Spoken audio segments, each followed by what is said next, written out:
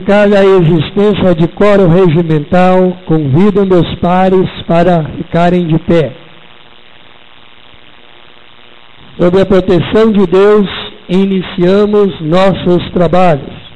Declaro aberta a sexta sessão ordinária da segunda sessão legislativa da 16ª legislatura da Câmara Municipal de Valentim Gentil. Pode se assentar. Gostaria de agradecer a presença de todo o público presente,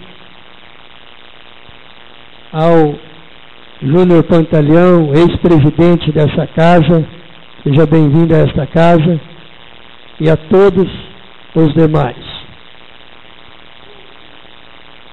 Passamos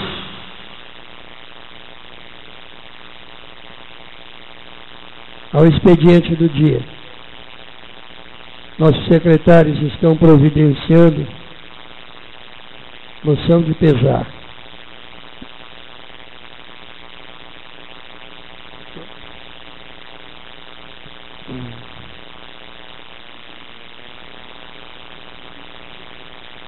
Gostaríamos também de agradecer a presença da Polícia Militar e Valentim Gentil. Moção de pesar ao excelentíssimo senhor presidente da Câmara Municipal de Valentim Gentil, São Paulo. Moções. Apresentamos à mesa, ouvindo o plenário e dispensadas as demais formalidades regimentais, moções de pesar pelo falecimento de Isaura Rocha Cavazan, Rosalina de Souza Araújo, José Alves Pereira Octaviano Brumato, José Ferreira Gomes, e Germiniano Trindade, causando grande comoção no seio de nossa população, considerando os laços de amizade que liga a família lutada à nossa comunidade. Que se dê ciência desta justa homenagem à família lutada, Sada Sessões Gervásio Alves Pereira, 14 de abril de 2014. Assinado por todos os vereadores dessa casa. Indicação número 33, barra 2014.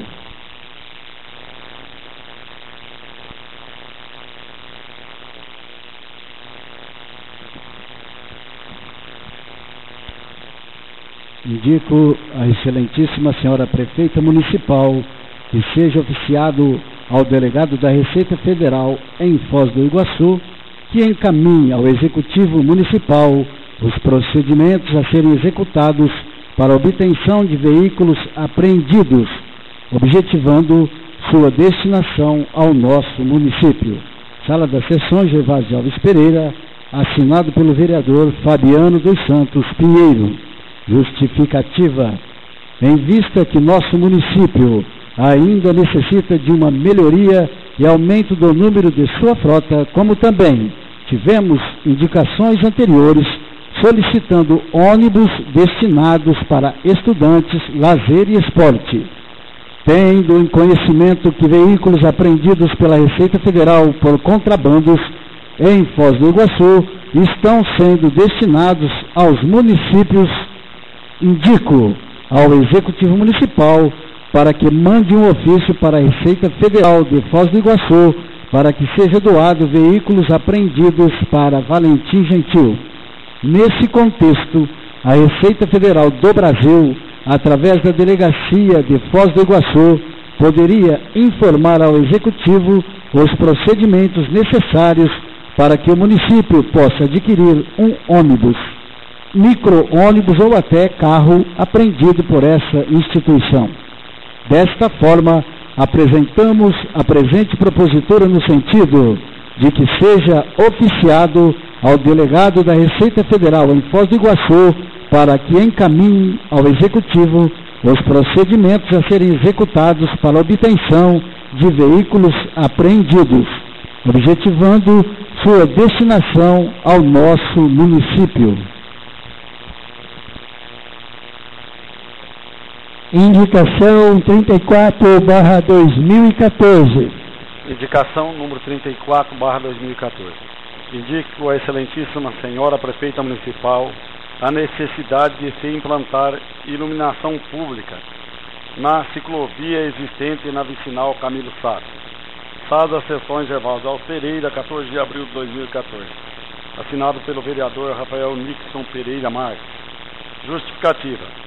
A ciclovia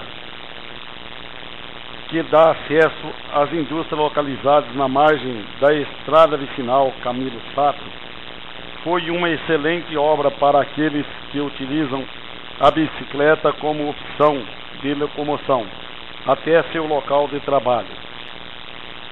Mas há um pequeno problema: muitos desses trabalhadores voltam, voltam para casa já à noite, ou então entram para trabalhar no turno da madrugada. E como, e como bicicleta não possui faróis, esse trajeto está se tornando perigoso, principalmente para as mulheres, que constantemente têm nos procurado pedindo uma solução para este problema. Outro detalhe: muitas pessoas têm utilizado a ciclovia para a prática de atividades físicas, como ciclismo e caminhadas, e por não terem tempo durante o dia, estão fazendo o durante a noite e, portanto, o que seria uma atividade saudável está se tornando algo perigoso pela falta de iluminação no local.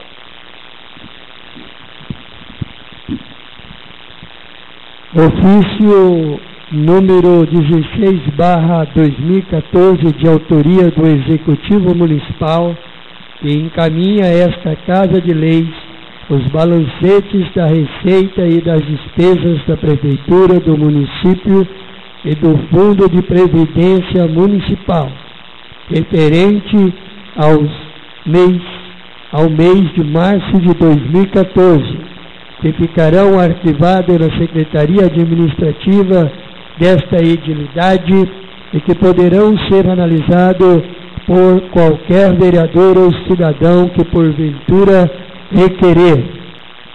Excelentíssimo senhor Claudionor Roberto Chicheto, presidente da Câmara Municipal de Valentim Gentil.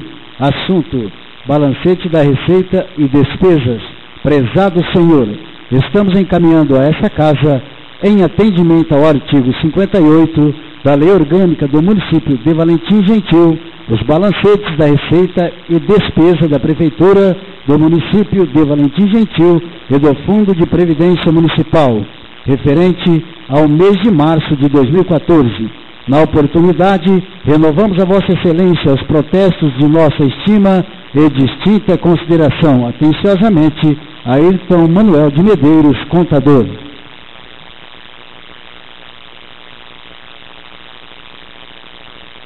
Projeto de Lei número 12, barra 2014, de autoria do Executivo Municipal que dispõe sobre as diretrizes orçamentárias para elaboração e execução da Lei Orçamentária para o exercício financeiro de 2015 e das providências correlatas. Que fique encaminhada às comissões competentes. Excelentíssimo senhor Claudio Honor Roberto Chiqueto, digníssimo presidente da Câmara Municipal de Valentim Gentil, São Paulo. Senhor presidente, com o presente, estamos remetendo a elevada consideração dessa igreja Câmara Municipal em cumprimento às disposições da Constituição Federal, da Lei Orgânica do Município e também de acordo com as novas regras introduzidas pela Lei Complementar número 101 de 4 de 5 de 2000, o projeto de lei número 12 barra 2014, que dispõe sobre as diretrizes orçamentárias para elaboração e execução da lei orçamentária para o exercício financeiro de 2015 e das providências correlatas. A Lei de Diretrizes Orçamentárias integra a estrutura orçamentária e constitui o elo de ligação entre os demais componentes, que são o plano plurianual e do orçamento anual. É através dela que são fixadas as metas e prioridades do exercício dentre aquelas constantes do plano plurianual e estabelecidas as políticas e os princípios gerais para a elaboração do orçamento anual. Referida lei, como plano anual, o curto prazo combina um verdadeiro plano de ação governamental, com política financeira, estabelecendo as metas e prioridades para o exercício subsequente, bem como orientando a elaboração da lei orçamentária anual. A presente propositura foi elaborada de acordo com as normas legais e segundo prioridades definidas em fase da expectativa da comunidade e daquilo que a expansão exige como imprescindível. Além de inserir-se no contexto de uma obrigação legal, o encaminhamento do projeto de lei das diretrizes orçamentárias, a Câmara e a oportunidade para registrar ao agradecimento do Poder Legislativo pela inestimável colaboração que tem prestado com a competente análise desta propositura pelos ilustres que haverão de contribuir para seu aprimoramento, conferindo-lhes maior representatividade popular.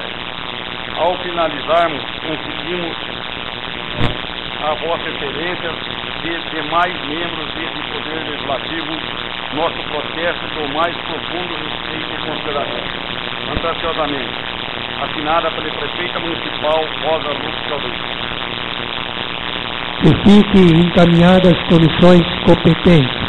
O horário agora será, será hoje sobre o tema livre. Enviará da palavra pela ordem o vereador devidamente inscrito.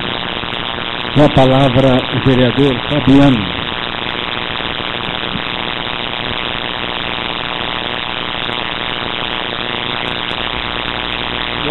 presidente, membros da mesa, meus pares, ao público presente, em nome da professora Nery, queria saudar todos os presentes.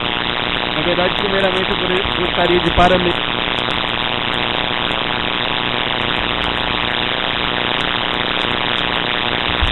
Gostaria de parabenizar primeiramente o Cristo, que representou a região de São José do Rio Preto, na primeira conferência estadual de prevenção de defesa civil que ocorreu neste final de semana na cidade de São Paulo. Parabéns, Cristian, você é o delegado regional da nossa região. Parabéns você mais uma vez. Gostaria de levantar aqui uma situação que já foi feita algumas indicações a respeito.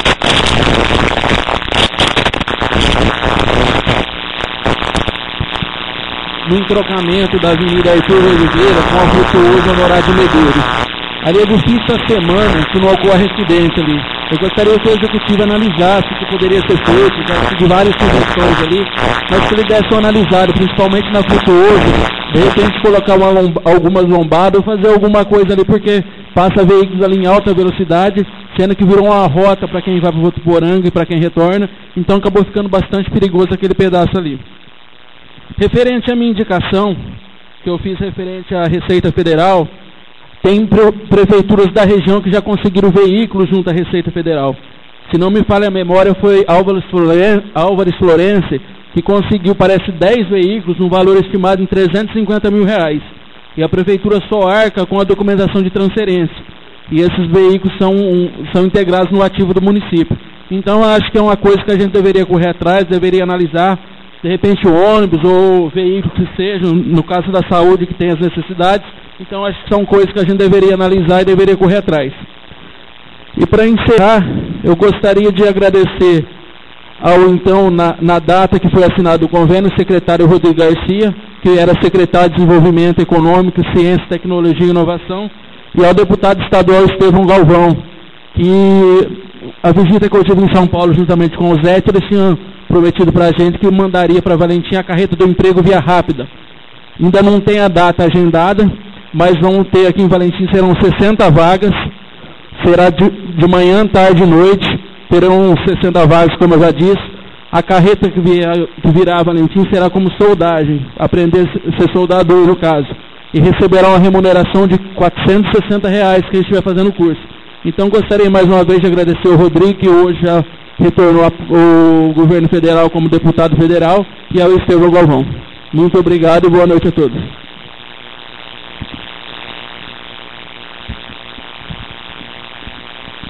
A palavra, o vereador Claudio Honor Chicheto. Dispensa a palavra. Convido então o vereador Isaac. Na sequência, Rafael Nixon, José Carlos Espinosa. Convido então Gilvan, dispensando a palavra. Sérgio, por favor.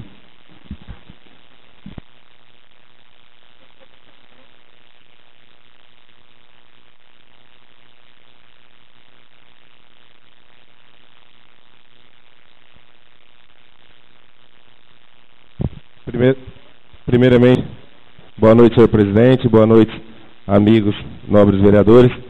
Se eu puder pegar dois minutinhos de cada vereador para falar, tá? Eu agradeço. Cada um dá dois minutinhos, né, Isaac? Vamos lá.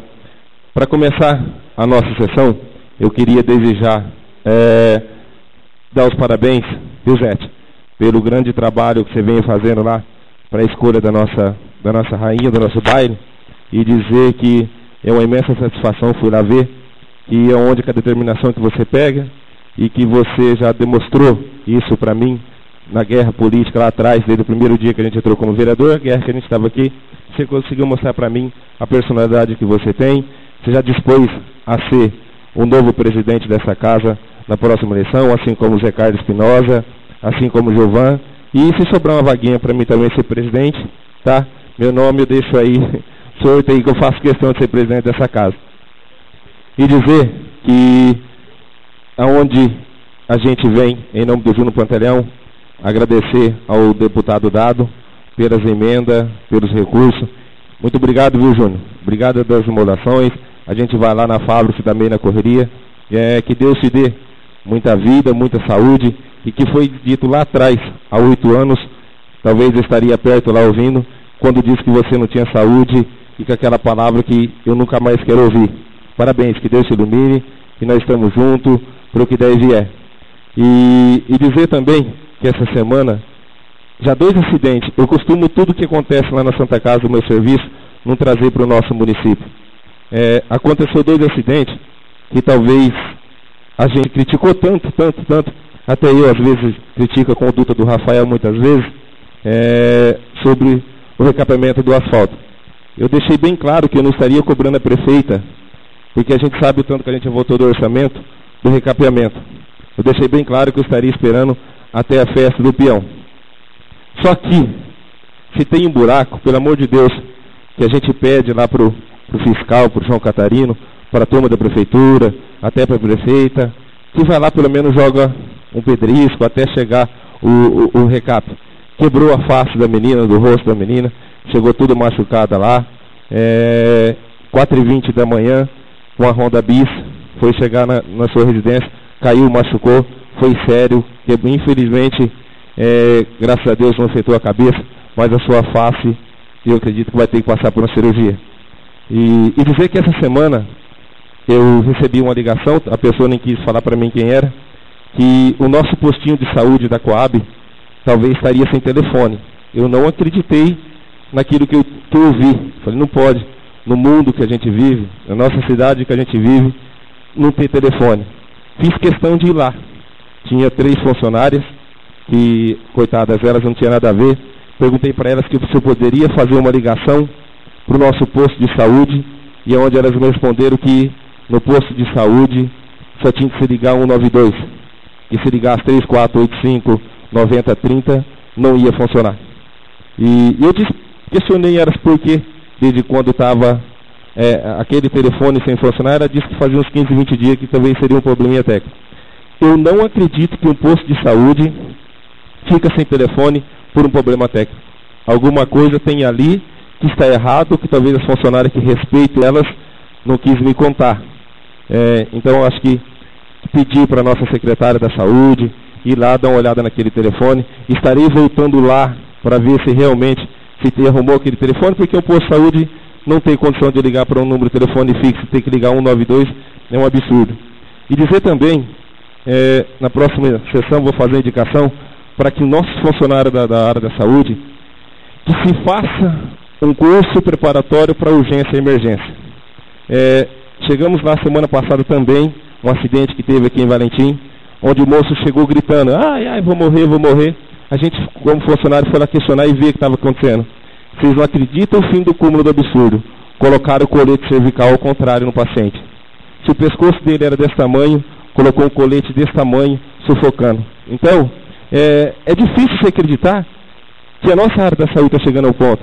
É difícil acreditar que a resposta que a prefeita deu, daquela indicação do raio-x, ultrassom, ecocardiograma, Votuporanga já começou. Começou a obra na sexta, hoje já está pronto no domingo. E nós aqui não conseguimos sequer uma resposta que, que nós que dê falar assim, Sérgio, a resposta aqui, vamos no mínimo ouvir, ver que os médicos têm a propor para a nossa cidade. É, então, esses tipos de coisas que eu vou ficando quieto, eu vou questionando. Recebi uma ligação ontem de ontem à noite. O, o cara falou, Sérgio, é meu, meu filho está lá. Eu faço questão de te levar você para ir lá ver, para você não falar que estou falando demais. Levantei, peguei minha moto e fui lá ver. Gente, eu não acredito que a Chopilândia continue naquela situação. Onde foi eu e o Claudionor lá ver um dia, é, ele fez até uma indicação para que se colocasse segurança. O menino estava caído no meio de tanta lata de crack que vocês não têm ideia. Aí a gente vai inaugurar, vamos fazer uma festa de peão, não vai ter uma inauguração. Eu estava olhando ali, até perguntei para o Isaac, não vai ter nem sequer o churrasco do, final, do, do dia domingo. Alguma coisa, eu, não, não é que. Impossível. Será que é só eu que estou vendo isso? Será que é só eu que estou errado? Não é isso. Será que não está acontecendo alguma coisa que falta uma comunicação? A gente foi lá na festa de peão de Alves Florença. Vocês precisam de ver onde foi eu, Luiz Expedito e a Conceição. Tanto que a gente foi bem recebido como vereador, nem eu acreditei que era eu estava naquele lugar. Ô senhor vereador, faz favor, senta aqui, o camarote do senhor é ali. Tudo organizadinho, foi rápido. Não concordo na nossa festa não ter montaria em cavalo. E eu brigo e falo e continuo. Eu não concordo de falar que a nossa cidade não tem um peão para representar Valentim. Um. O único que tem é o Tião, que representa Florial. Até falando lá, o Moacir estava junto, você falou, Sérgio, para você ver como que a gente está. Dá vontade de sentir aquele tempo do finado baiano, do Nelson Prado da Cruz, do Maciel, Pedro Angel, do Negão, do Vadinho, do Danilo. Ou nós, nós que mexemos com parte política, ou paramos para olhar alguma coisa que está errado, ou será que é os meninos que estão errados? Hoje o moço teve a capacidade de olhar para mim e falar, Sérgio, nós não teve um campeonato no final de ano. Um. Um campeonato. Aquele campo está a coisa mais linda, o tapete mais lindo. Até eu disse de uma vez na sessão, tiraram os cabritos, mas não teve mais bola. Não teve mais esporte. Até o Zé comentou comigo uns meses atrás, falou, Sérgio, vai ter um campeonato, vai terminar dia 3 de maio. Cadê o campeonato? Fugiu do campeonato. Gente, é, do resto, eu fui investigar também, falando aqui para os meninos, sobre a história do SAMU, onde a gente votou aqui uma votação de 6 mil reais pagar por mês do SAMU. Vocês não acreditam. Nós não temos um médico, um médico, um, no plantonista de emergência, um médico, para tirar um paciente que está com ataque cardíaco. Vocês não acreditam. Aí eles ligam para o SAMU, médico do SAMU. É de médico para médico. Agora não pode mostrar SAMU vem aqui, é de médico para médico. Olha, eu estou com um paciente assim, está com taquicardia e tal. Peraí. Se chegou com taquicardia, qual é a medicação que tem que ser feita? Vamos fazer um eletro? Não. Já pega e põe na ambulância e vai embora. Essa noite passada me ligaram a família correndo desesperada. Sérgio, o médico de Valentim falou que a minha filha já tinha estourado a bolsa, vai nascer e, e a Santa Casa não quer fazer cirurgia. Pelo amor de Deus, como que o médico estuda 10 anos não consegue distinguir quando rompe uma bolsa? Enfermeira não consegue distinguir quando rompeu a bolsa. Aí chega aquele trupé lá com a sirene ligada, deixa o paciente, vira as costas e vai embora. Nossa cidade não, não temos mais que viver de chegar, empurrar problema para o Votuporanga, não. Nossa cidade, nós temos que colocar na cabeça que é aqui que nós temos que estabilizar o paciente, que é aqui que nós temos que dar o primeiro socorro, que nós temos que mandar o paciente com vida e segurança para Votuporanga. Eu não acredito que o mesmo projeto que foi feito para Valentim, a mesma coisa que eu pedi para Valentim na área da saúde, aqui nem sequer foi feita uma reunião. E em Votuporanga já acabou a reforma, já vai começar. Eu não acredito nisso. Aí, voltamos lá ao ponto de questionar, lá atrás. Peraí, será que é só o Sérgio que está errado, só o Sérgio que caça briga, é só o Rafael que vê as brigas? A compra do carro deu a maior polêmica. Só que o Rafael sabe, seu Rafael, que você aqui foi favorável à compra do carro. Se teve um vereador, que até no dia a gente discutiu aqui, foi eu, Zé Carlos, que eu falei, eu não concordo de comprar um Corolla de 95, de 83 mil. Foi o único. Porque do resto tu comprou, depois foi lá jogou. O Claudio Neu vem aqui e me pede, fala que ia caçar o menino, virou aquele rubuloso na cidade, caça no caça. Aí o Sérgio põe a plaquinha, o Júnior Panterão põe a plaquinha. Mas quem não põe a placa? A plaquinha. Então, Rafael, eu questiono muito isso daí. Você está certinho na tua posição, da tua política, o que você faz. Eu só questiono que se eu falar aqui hoje, amanhã eu vou morrer e vou engolir a palavra. Aí ninguém sequer brigou, voltando lá atrás, ninguém sequer brigou pelo imposto da casinha. Passou os impostos, vamos ter que pagar tudo normal, vamos sofrer pagar os impostos, e tá tudo beleza, tudo tranquilo. E aí, nossos vereadores, nós não podemos fazer quase nada, não é verdade? Então aí estamos votando o aumento hoje do funcionário público, 4,93, é isso?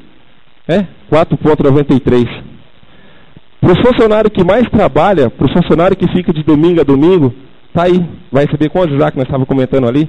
37, 38. Claudio, nós vamos fazer aquilo que você falou lá atrás. Vamos ver se consegue dar um pouco mais de aumento para esses braçal. Para os professores que estão tá aqui na nossa frente. Aí é que eu questiono, eles que ganham mil, dois mil reais por mês, vai receber a média de 90. 90, 100 reais. Aqueles que andam com carro com ar-condicionado, aqueles que estão tá com a salinha de, de ar-condicionado, vai receber 300 reais de aumento. Que é o secretariado que a gente votou lá atrás, que até o Gilbertino gosta que fala nisso, de 3.000 e 5.600 reais de aumento. Aí a gente vai votar lá atrás daqueles concurso público que teve, que fala-se tanto do concurso público, que é de 3.800 reais, pode dar mais 100% de gratificação em cima. São 7 mil, lá vai para E os nossos braçal ganhando 900 reais por mês. Ah, já está no número 25 do motorista. Não vai achar motorista que entra 5 horas da manhã e sai meia-noite por mil reais. Do resto, até mais. Muito obrigado a todos. Fiquem com Deus.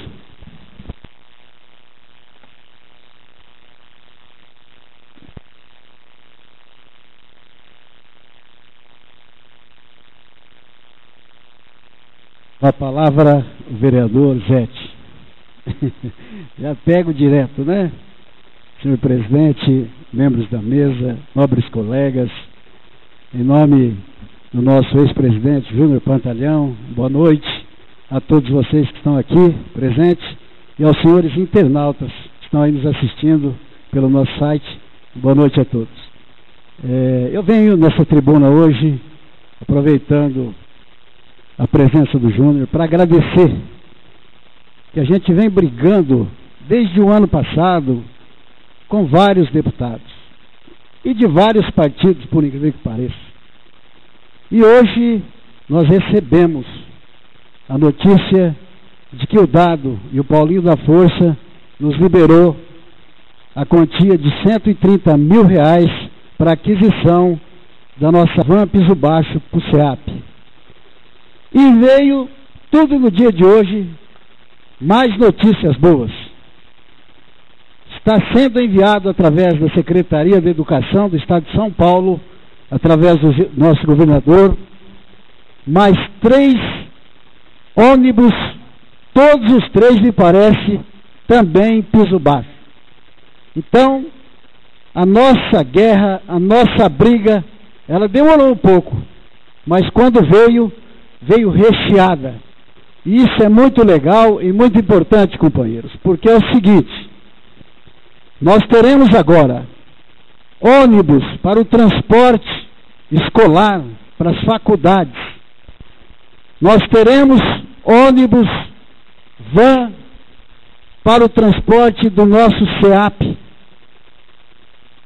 Então, a gente fica feliz quando vê que os nossos deputados, e até mesmo o nosso governador, olhou para Valentim Gentil e nos presenteou.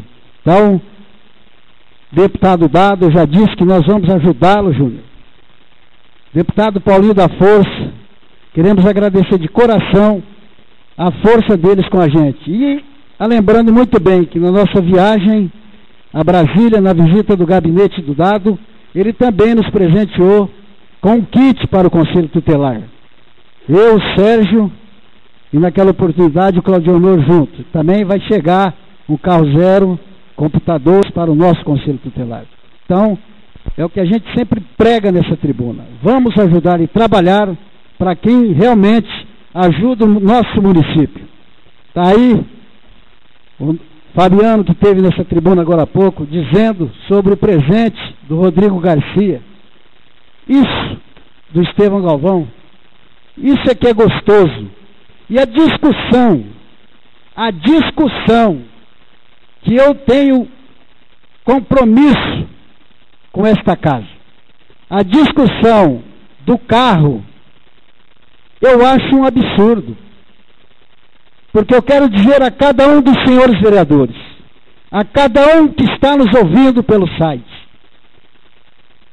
e eu, nesse momento, eu parabenizo o ex-prefeito de Valentim Gentil, que foi através dele, através do ex-presidente Zé Carlão, que foi implantado nesta casa a diária para o vereador trabalhar.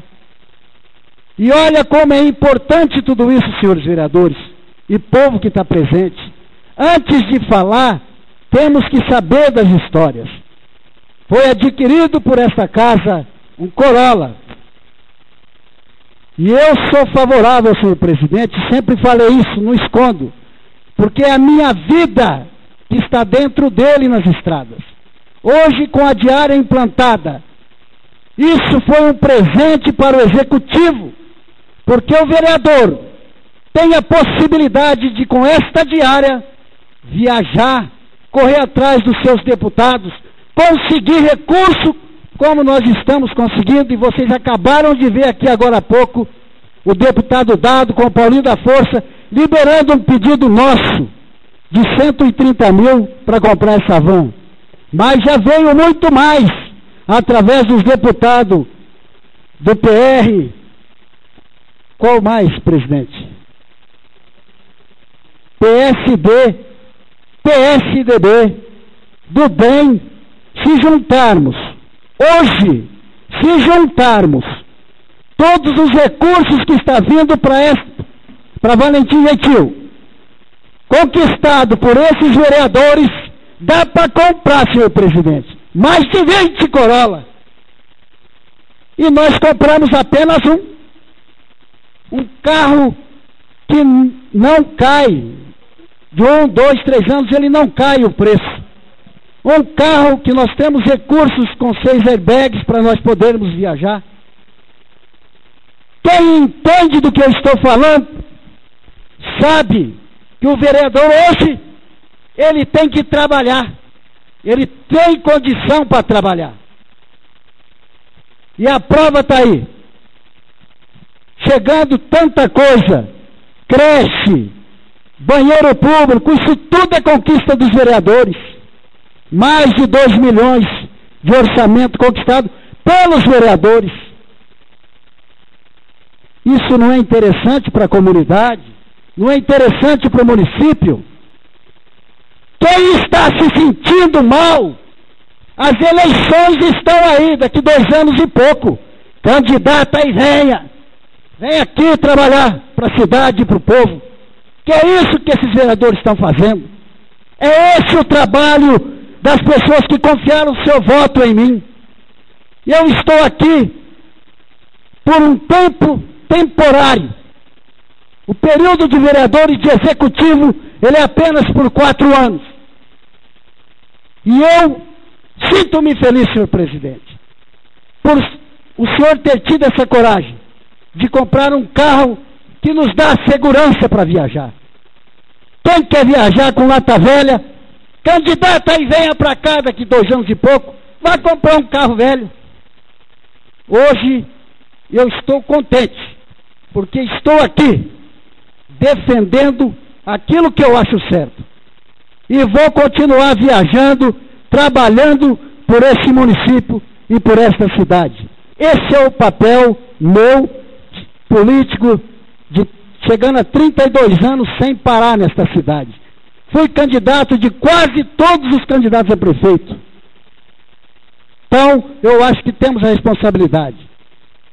Parabéns a todos os vereadores que assumiram a responsabilidade desta casa, que é a única casa na região que não tinha um carro. Hoje tem. Muito obrigado e boa noite a todos.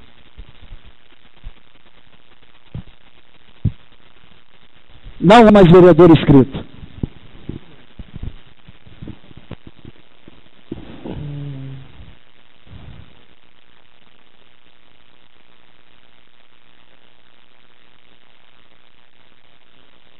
Verificada a existência de coro regimental, passamos à deliberação da matéria constante da pauta da ordem do dia. Item 1 ata da sessão anterior. Solicito ao primeiro secretário que proceda a leitura da ata da sessão anterior. Eu gostaria que fosse dispensada a leitura da ata da sessão anterior. O vereador José Carlos Espinosa pediu a dispensa da leitura da ata da sessão anterior e, portanto, coloco o pedido em votação. Aqueles que estiverem de acordo com a dispensa da leitura da ata permaneça como estão. Havendo a concordância de todos, está em votação a ata da sessão anterior. Aqueles que estiverem de acordo com a sua aprovação, permaneça como estão. A ata da sessão anterior foi aprovada por unanimidade.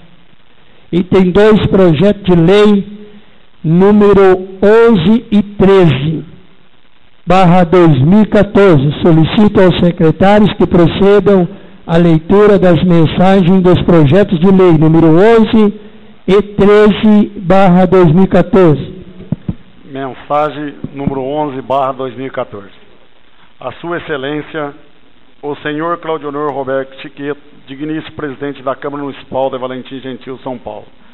Senhor presidente, estamos encaminhando a Vossa Excelência em anexo do projeto de lei número 11/2014, que dispõe sobre a revisão geral anual dos vencimentos dos servidores públicos, do Poder Executivo e das providências correlatas. Sobre o assunto dispõe a Lei Municipal número 1895 de 11 de dezembro de 2009, que regulamenta o inciso 10 do artigo 37 da Constituição, determinando que os vencimentos dos servidores públicos sejam revistos no mês de abril, sem distinção de índices, extensivos aos proventos de inatividade e às pensões. O encaminhamento desta proposta atende à necessidade de revisão geral anual dos vencimentos dos servidores públicos do Poder Executivo, relativa ao período de abril de 2013 a março de 2014, dando cumprimento aos atos legais que dispõem sobre o assunto. Com essa finalidade, observada a previsão orçamentária, para o presente exercício, propõe o reajuste de 4,93%, com efeitos financeiros a partir de 1 de abril de 2014 sobre o valor de vencimento para todos os servidores, sejam eles ativos ou inativos. Isso considerando as despesas decorrentes da aprovação deste projeto de lei, importa numa despesa de 342.686 reais e 46 centavos em 2014, abrangendo 405 servidores públicos municipais. Observe-se por oportuno que, de acordo com o inciso 6 do artigo 17 da LRF, em se tratando de reajustamento de remuneração de pessoal de que trata o inciso 10 do artigo 37 da Constituição, o ato dispensa a apresentação de estimativa do impacto orçamentário financeiro no exercício em que deva entrar em vigor e nos dois subsequentes. São estas, senhor presidente, as razões que nos leva a submeter a Vossa Excelência o encaminhamento do presente projeto de lei, ansiosamente assinada pela prefeita municipal, Rosa Luque Caldeira. Está em discussão em bloco os projeto de lei número 11 e 13 barra 2014. Oh, está faltando uma leitura aqui. Vamos, projeto 13. Ao excelentíssimo senhor Claudionor Roberto Ticheto, presidente da Câmara Municipal de Valentim Gentil, Estado de São Paulo. Senhor presidente, estamos encaminhando a Vossa Excelência em anexo o projeto de lei número 13 a 2014, que dispõe sobre a criação do piso salarial para o agente comunitário de saúde ASC, equivalente inicialmente a 950 reais, que será pago mensalmente ao servidor regularmente aprovado em processo seletivo, simplificado e contratado para o exercício da referida função atividade. O valor do piso salarial será revisto anualmente e terá como base a variação do índice de preços ao consumidor IPC da Fundação Instituto de Pesquisas Econômica, apurada entre o mês de março do ano da re revisão e os 11 meses anteriores.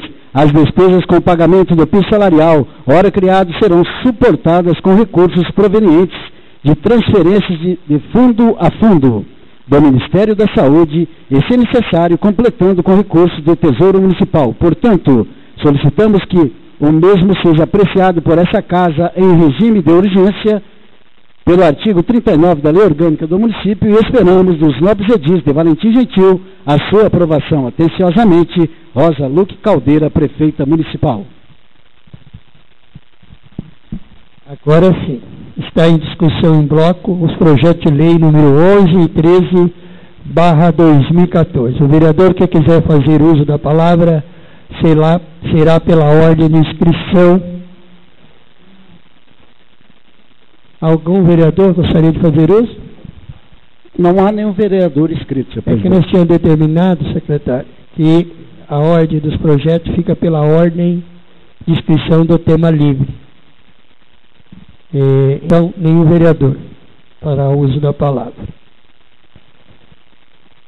Está em votação, então, em bloco os projetos de lei 11 e 13. Os vereadores que estiverem de acordo com a sua aprovação permaneça como estão.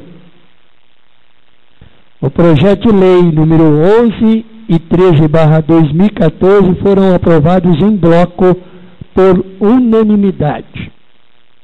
Projeto de decreto legislativo Conforme consta na ordem do dia, passaremos neste momento a discussão e votação do projeto de decreto legislativo número 02 barra 2014, na sequência em discussão e votação do projeto de decreto legislativo número 3 barra 2014, que dispõe sobre outorga de honraria que especifica, porém, de acordo com o artigo 366 do Regimento Interno, parágrafo 1, os projetos de decreto legislativo que dispõem sobre a outorga de honraria deverão ser discutidos e votados em escrutínio secreto. E para isso seria necessária a saída do público presente e o fechamento da porta desta edilidade. Gostaria então de consultar meus nobres colegas sobre a possibilidade de realizarmos as votações secretas, porém sem efetuarmos a retirada do público. E para isso colocarei em discussão em plenário, ou seja, faremos agora uma votação para determinado a saída ou não do público presente. Portanto, os vereadores que estejam de acordo com a permanência do público presente e, e o não fechamento das portas desta edilidade permaneça como estão. Estando a maioria dos vereadores de acordo com a presença do público presente e o não fechamento da porta, passaremos à discussão e votação do projeto de decreto legislativo número 02/2014. E na sequência, na sequência realizaremos a discussão e votação do projeto de decreto legislativo número 03/2014.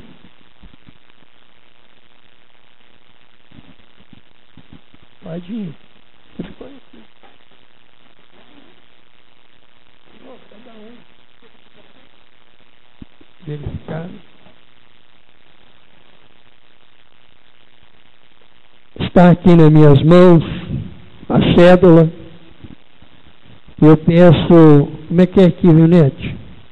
Designo aqui um vereador para entregar cédulas? Primeiro secretário? Solicito ao primeiro secretário que distribua as cédulas e também os envelopes a cada vereador.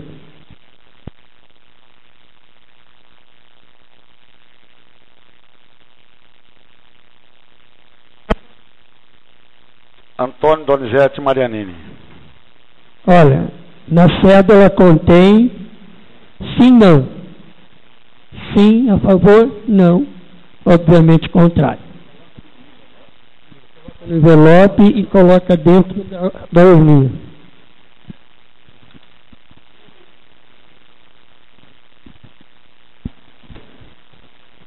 Claudio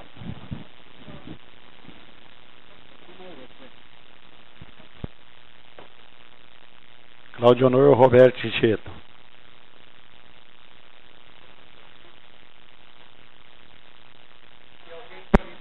envelope e fazer preencher o seu voto lá na tribuna em secreto, fique à vontade, viu?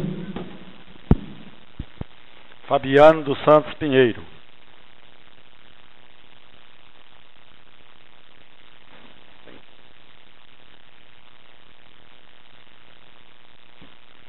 Gilberto Helder de Souza. Gilvan.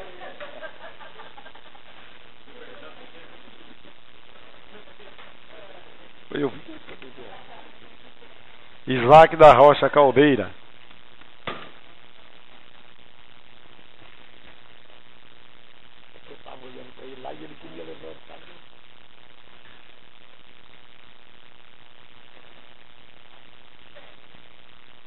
José Carlos Espinosa.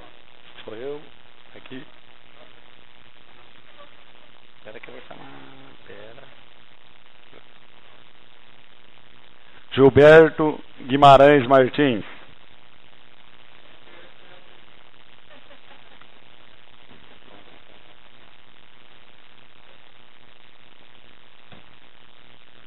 Rafael Nixon Pereira.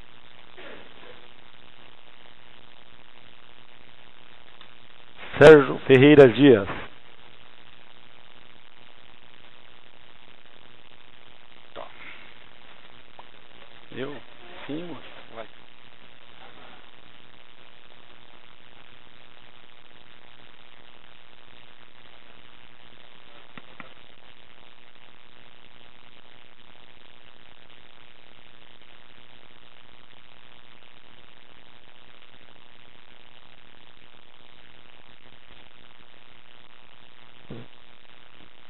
Lembrando que os vereadores estão votando neste momento a outorga ao deputado José Bittencourt. Depois, a próxima, mais uma votação ao deputado Carlão.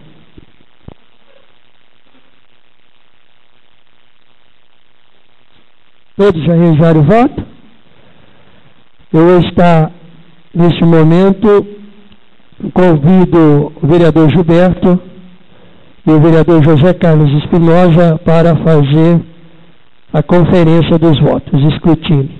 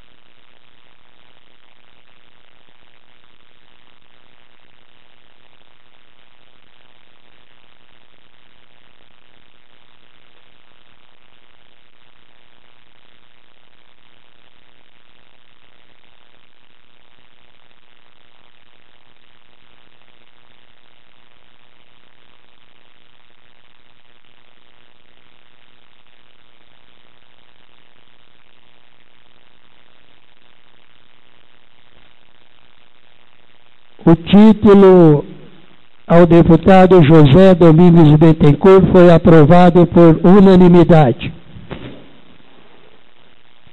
Item 4, projeto de decreto legislativo número 03/2014. Está em discussão do, discussão o projeto de decreto número 03/2014 o vereador Gilvan Helder de Souza, que dispõe sobre a outorga de honraria que especifica ao deputado José Eduardo José deputado Carlos Eduardo Pignatari.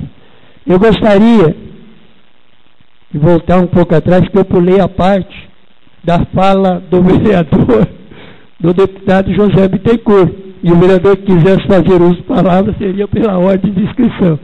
Então, antes de eu passar para a votação, gostaria de fazer uso da palavra a respeito desse tema. Fazer aqui mesmo para poupar tempo. Primeiramente, gostaria de agradecer a todos os vereadores que otorgaram este título a este deputado que tem trazido muitos benefícios para o nosso município. Eu tenho sempre dito que deputados que trabalham para o nosso município precisam ser reconhecidos, que têm é, destinado. E eu abro aqui, assim como esses vereadores apoiaram esse título, conte com esse vereador quando quiserem homenagear um deputado da, do seu partido, que vem estar aqui trazendo benefício para o nosso município, pode estar certo que esse vereador isso não nos custa nada. Isso custa um pedaço de papel, mas para o deputado é muito importante esse reconhecimento e incentiva ele a trazer mais recursos para o nosso município. Então fica aqui registrado, meu muito obrigado. Agora passaremos então ao item 4, projeto de lei de decreto legislativo número 3, barra 2014. Está em discussão o projeto de lei de decreto legislativo número 03/2014, de autoria do vereador Gilvan Helder de Souza, que dispõe sobre a outorga de honraria que especifica ao deputado estadual Carlos Eduardo Pignatari. O vereador que quiser fazer uso da palavra será pela ordem de inscrição. Vereador Gilvan, fazendo uso da palavra. Boa noite, senhor presidente. Boa noite, senhor presidente, membros da mesa, meus pares. Agradecer a presença aqui do ex-presidente Júnior Pantaleão, do público aqui presente. É, essa honraria que eu estou propondo para o deputado Carlos Eduardo Pignatari, eu vejo, é, senhores vereadores, que é um deputado que tem trabalhado diuturnamente para o bem de Valentim Gentil. Por isso, eu verifiquei, analisei e peço a vocês que votem, que dê o seu voto favorável para que nós entregamos a esse deputado essa honraria tão merecida por esse deputado que tanto faz por Valentim Gentil. Era isso que eu tinha para dizer e muito obrigado a todos. Mais algum vereador gostaria de fazer uso da palavra? Está em votação o projeto de decreto legislativo número 03/2014. A votação será em escrutínio secreto, ou seja, seis vereadores do total da Câmara. O presidente também vai votar, né? O número secretário distribui as cédulas de votação. Antônio Donizete Marianini.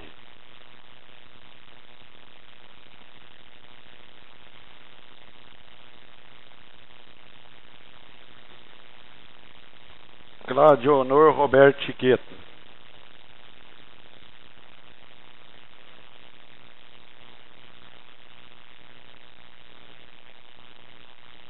Fabiano dos Santos Pinheiro.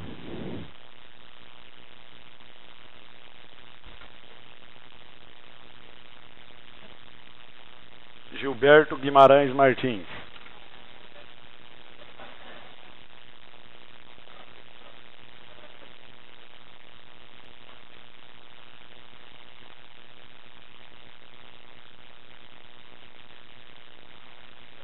Gilvan Elder de Souza.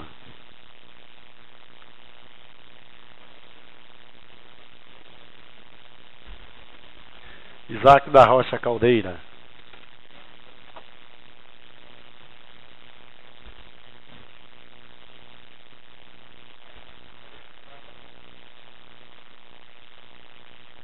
José Carlos Espinosa.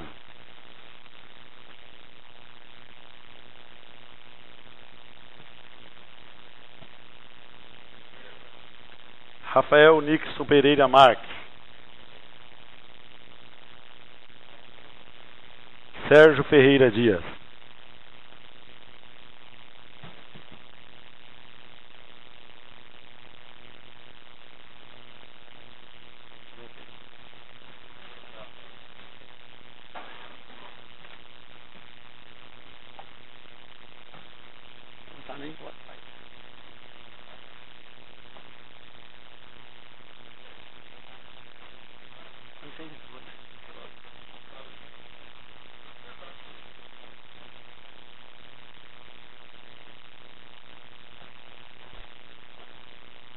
Convido o vereador Fabiano e o vereador Zete para fazer o escrutínio da votação.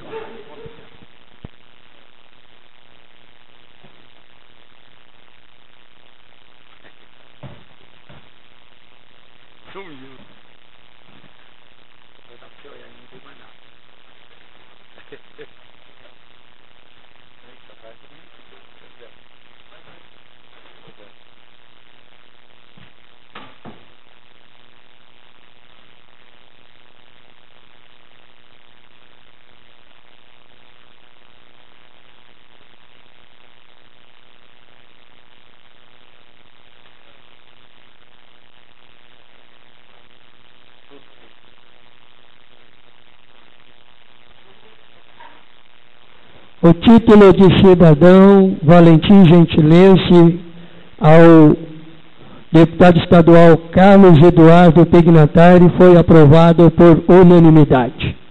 Nada mais havendo a tratar, solicito aos nobres vereadores que se levantem. Dando graças a Deus, declaro encerrada a presente sessão. Meu muito obrigado a todos.